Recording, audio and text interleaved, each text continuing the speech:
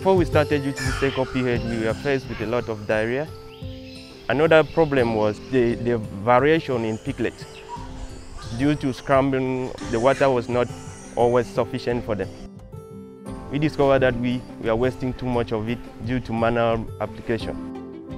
So the Selko machine helps because it helps us to bring a pressure pump to distribute water equally to all the rooms at the same time.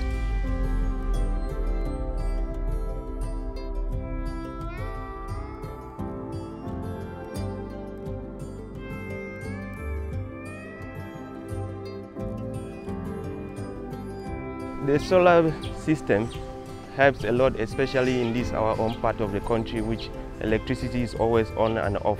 We are able to use the Selko-pH 24 on 24 and 7 on 7. We help to neutralize our water and reduce the pH level, which help us to reduce that diarrhea. And it also help the animals to eat, because without water, the animals will not be able to eat, especially in the dry season.